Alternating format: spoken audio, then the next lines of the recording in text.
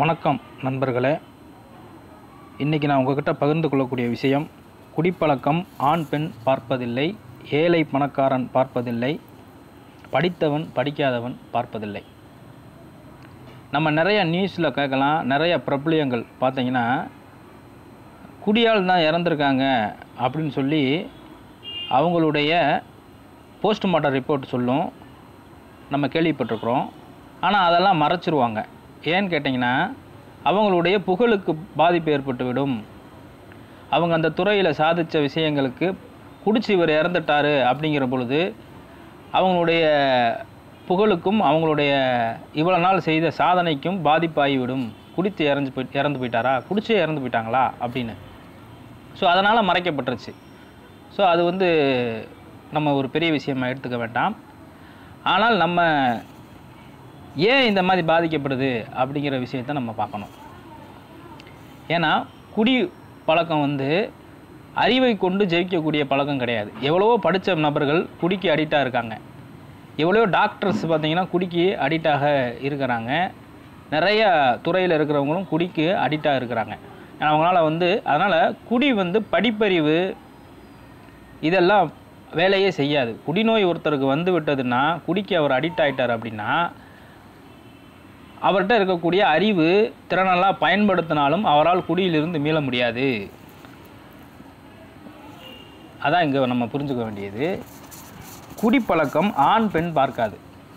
நீங்கள் பார்த்துருக்கலாம். சில பிரபலயங்கள்லாம் வந்து பெண்கள் தான். நிறையா வெளிநாட்டில் பார்த்தீங்கனாலும் நமது நாட்டில் பார்த்தீங்கனாலும் ஸோ நம்ம செய்தியிலையும் பார்க்கலாம். அவங்களாம் வந்து பெண்களே வந்து குடி குடிக்கிறாங்க. அற்ப ஆயுசில் இறந்து விடுகிறார்கள். ஏன்னா அவங்களால குடியை நிறுத்த முடியல. ஏழை பணக்காரன் பார்க்காது. நான் பணம் வச்சுருக்கிறேன் அந்த பணத்தை வச்சு எப்படியாவது நான் குடி குடியை நிறுத்திடுவேன் அப்படின்னு முயற்சி பண்ணி பார்த்தாலும் முடியாது. எத்தனையோ பணக்காரர்கள் வந்து இருக்கிறாங்க. அவங்க குடிக்கு ஆள்பட்டுட்டா அவங்களால குடியிருந்து இருந்து மீள முடியல. அப்போ ஒரு மாத்திரை இருந்துச்சா அந்த மாத்திரையை போட்டு நான் மீண்டலாம் அப்படின்னு போட்டு நிறுத்தியிருக்கலாமே குடியை. ஏன் ரூம் போட்டு குடிக்கணும்? ஸோ குடி வந்து வெறி. கட்டுப்படுத்த முடியாத குடி ஒரு நோய் ஆளை கொள்ளும் நோய். கொஞ்சம் கொஞ்சமாக வந்து அவங்ககிட்ட எவ்வளோ பணம் இருந்தாலும் அந்த பணத்தை வச்சு அவங்க எவ்வளோ முயற்சி பண்ணாலும் குடியை நிறுத்த முடியாது. குடி ஒரு மனம் சார்ந்த நோய் உடலும் ஆன்மீகமும் சார்ந்த நோய். அந்த ஆன்மீக நம்பிக்கை அவர்களுக்கு இல்லை. அந்த ஆன்மீக நம்பிக்கைக்கு முழுமையாக அவங்க வரணும். அவங்க வந்து தன்னை முதல்ல நம்பணும். இது மனம் சார்ந்த விஷயமாக மனதின் மூலியமாக மனதில் ஒரு நம்பிக்கையை ஏற்படுத்தி வெளிவரக்கூடிய அதை தள்ளி போடக்கூடிய ஒரு விஷயம்தான் குடிநோய். அப்போ குடிநோய் வந்து படித்தவன் படிக்காதவன் ஏழை பணக்காரன் ஆண் பெண் எதுவுமே பார்க்காது. ஒரு டிப் அடி அடிக்ட் ஆகி அவங்க நிறுத்தணுன்ற அந்த எண்ணம் அவர்களுக்கு வந்துவிட்டால் அவர்கள்தான் அவங்கள் தான் நம்ம வந்து அடிக்ட் பர்சனாலிட்டின்னு சொல்கிறோம் குடிக்கே ஆள்பட்ட மனிதர்கள். ஸோ இவங்க வாழ்நாள் முழுவதும் என்ன பண்ணுவாங்க? ஏதாவது முயற்சி பண்ணிக்கிட்டே தான் இருப்பாங்களே தவிர அவங்களால குடியிலிருந்து விலகி ஒரு நல்ல வாழ்க்கை வாழ முடியாது. அப்போ நாம் இதுக்கு என்ன ஐடியா சொல்கிறோம் அப்படின்னா நீங்கள் இன்றைக்கி ஒரு நாள் மதுவிலிருந்து விலகிடுங்க இன்றைக்கி ஒரு நாள் சாப்பிடாதீங்க. நம்ம மீண்டும் மீண்டும் சொ சொல்கிறது அதுதான். இன்றைக்கி ஒரு நாள் குடியை தள்ளி வச்சு பாருங்கள் ஒரு பத்து நாளைக்கு தள்ளி வச்சு பாருங்க. ஒரு இருபது நாளைக்கு தள்ளி வச்சு பாருங்க. ஸோ இப்படி ஒரு ஒரு மாதம் அந்த குடியிலிருந்து விடுபட்டு பாருங்க. குடிநோய்க்கு மருந்து இருக்கான்னு பார்த்தாக்க மருந்தே கிடையாது. இது வந்து நீங்கள் என்ன மருந்து நீங்கள் சாப்பிட்டாலும் என்ன கயிறு கட்டினாலும் சத்தியம் பண்ணாலும் மாலை போட்டாலும் ட்ரீட்மெண்ட் சென்டருக்கு போனாலும் மருந்து மாத்திரை நீங்கள் எவ்வளோ ட்ரீட்மெண்ட் எடுத்துக்கிட்டாலும் குடிநோய் அவங்களுக்கு இருந்திருந்தா என்றைக்காவது ஒரு நாள் குடிக்கலாம்ன்ற அந்த எண்ணம் அவர்கள் மனசில் இருந்துக்கிட்டே தான் இருக்கும். அந்த அந்த மது மேலே ஒரு ஆசை இருந்துக்கிட்டே தான் இருக்கும். சரி உடம்ப ரெடி பண்ணிக்கலாம். ரெடி பண்ணிவிட்டு அப்புறம் என்றைக்காவது ஒரு நாள் அடிச்சுக்கலாம் அப்படின்னு தான் நினைப்பாங்க.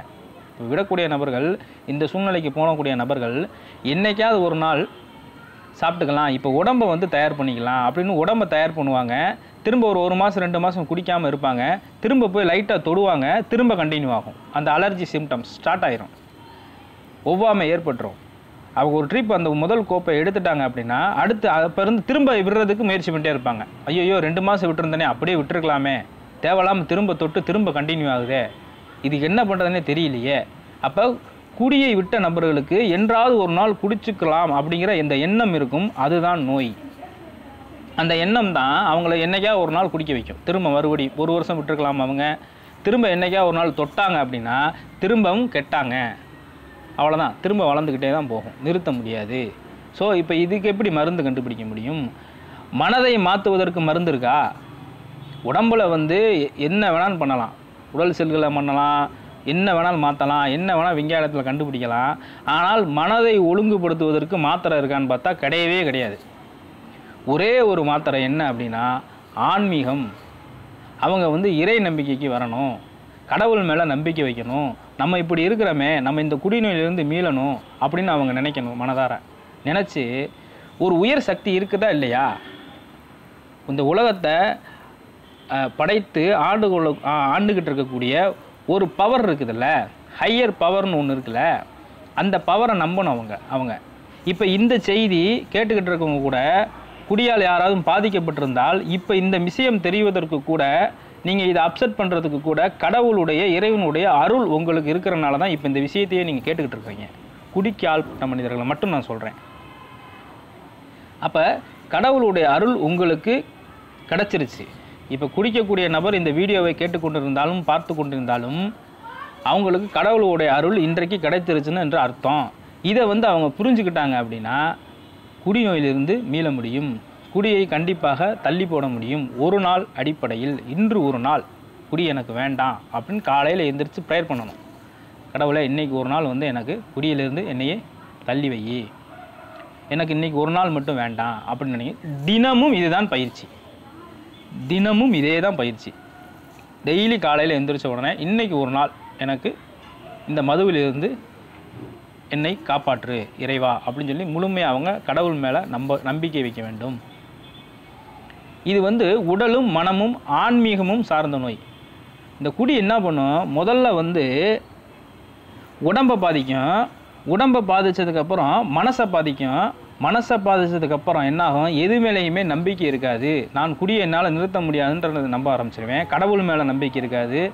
யா- யாரை பார்த்தாலும் நம்பிக்கை வராது. நான் ஒரு தனி மனிதன் அப்படிங்கிற மாதிரியான ஒரு சைக்காலஜி மென்டல் ப்ராப்ளம் ஏற்படும்.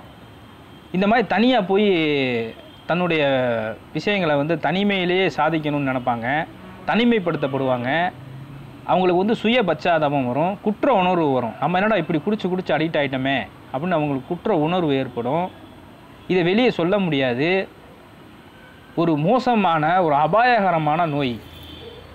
அவங்கள வந்து சித்திரவதைப்படுத்தி மன ரீதியாகவும் உடல் ரீதியாகவும் காயப்படுத்தி அவங்களே நினச்சி நினச்சி நினச்சி நினச்சி பிறரையும் துன்பப்படுத்துவாங்க. அதான் இதில் இருக்கிற ப்ராப்ளம் வெளியே சொல்ல முடியாது அவங்களால பிறரையும் துன்பப்படுத்தி குடும்பத்தார்கள் அனைவரையும் அர- அனைவருக்குமே கஷ்டம். அவர் அந்த ஒரு நபர் ஒரு ஒரு நபர் ஒரு குடும்பத்தில் குடிச்சாருன்னா அந்த குடும்பத்தார்களுக்கு பூராவத்துக்குமே மனநோயாளியாக ஆக்கி விட்டுருவார். இவரும் குடிநோயாளியாகி ஸோ இருக்கிறவர்களையும் மனநோயா மன நோயாளியாக மாற்றிவிடக்கூடிய ஒரு அபாயகரமான விஷயம்தான் கட்டுப்படுத்த முடியாத குடி. அவங்களால காலையில் எந்திரிச்சிலிருந்தே குடிக்கக்கூடிய எண்ணம் இருக்கிறவங்க தான் அபாயகரமான மனிதர்கள். அவங்களால தான் குடியை நிறுத்த முடியாது. ஸோ அவங்களுக்கு தான் நம்ம சொல்லிகிட்டு இருக்கிறோம். இன்று ஒரு நாள் நீங்கள் குடியிலிருந்து விலகி வை- விலக்கி விலகி வை விலக்கிடுங்க விலக்கி வைங்க குடி இன்றைக்கி இன்றைக்கி ஒரு நாள் வேணாம் அப்படின்னு நினைங்க. இதுதான் டெய்லியும் பயிற்சி. வாழ்நாள் முழுவதும் நீங்கள் திரும்ப என்றைக்கு குடித்தாலும் பத்து வருஷம் கழித்து குடித்தாலும் அப்போ இருந்து ஸ்டார்ட் ஆகும். அந்த அலர்ஜி ஸ்டார்ட் ஆகிரும் திரும்ப விடுறதுக்கு முயற்சி பண்ணிகிட்டே இருப்பீங்க. ரெண்டு நாள் விட்டுட்டு மூணாவது நாள் குடித்தாலும் திரும்ப விடுறதுக்கு முயற்சி பண்ணிகிட்டே இருப்பீங்க. ஒரு மாதம் விட்டுட்டு முப்பது நாள் விட்டுட்டு முப்பத்தோராவது நாள் நீங்கள் குடிச்சிங்கனாலும் திரும்ப குடிய விடுறதுக்கு முயற்சி பண்ணிகிட்டே தான் இருக்க முடியும். நீங்கள் எப்போ தொட்டாலும் கண்டினியூ ஆகும். ஸோ இதுக்கு முற்றிலும் குடியிலிருந்து விலகுவது தான் இதற்கு சிறந்த வழி. வேறு வழியே கிடையாது. இன்று ஒரு நாள் இன்று ஒரு நாள். இன்றைக்கி வேணாம் இன்றைக்கி வேணாம் இன்றைக்கி வேணாம். நாளைக்கு குடிச்சிக்கலாம் நாளைக்கு பார்த்துக்கலாம் நாளைக்கு பார்த்துக்கலாம்னு இன்றைக்கி வேணாம்னு நினைக்கணும். ஏன்னா குடிக்கிறாலாம் என்ன நினைப்பாங்கன்னா இன்றைக்கி குடிச்சுக்கிறேன் நாளையிலேருந்து நான் விட்டுருவேன் தான் சொல்லுவாங்க. அது நடக்கவே நடக்காது. இன்றைக்கி குடிக்காதீங்க நாளைக்கு நாளைக்கு கூட வேணால் குடிச்சுக்குங்க அப்படிங்கிற ஒரு மனநிலைக்கு நம்ம கொண்டு வரணும். கொண்டு வரும் பொழுது அப்போ அப்படியே தொடர்ந்து இந்த பயிற்சியை நம்ம செஞ்சுக்கிட்டே இருந்தோம்னா ஸோ அழகாக குடிநோயிலிருந்து மீளலாம். குடிநோய் ஆண் பெண் பார்ப்பதில்லை. ஏழை பணக்காரன் பார்ப்பதில்லை. படித்தவன் படிக்காதவன் பார்ப்பதில்லை. ஸோ ஒரு ட்ரிப் அந்த குடிக்கு ஆள்பட்டு விட்டால் மீறுவது கடினம். இந்த நோயிலிருந்து மீண்டால் உண்மையிலே சொல்லுகிறேன் ஒரு மறுபிறவி போல தான் இந்த குடியை விட்டு வாழக்கூடிய ம மனிதர்கள் இன்னொரு பிறவி எடுத்து வாழ்வதற்கு சமம். நன்றி. இந்த சேனலை சப்ஸ்கிரைப் பண்ணாதவங்க சப்ஸ்கிரைப் பண்ணிக்கோங்க பெல் ஐக்கானை அழுத்திக்கங்க. தொடர்ந்து நான் போடக்கூடிய வீடியோக்கள் உங்களுக்கு உடனே நோட்டிஃபிகேஷனில் வந்து சேரும். நன்றி வணக்கம்.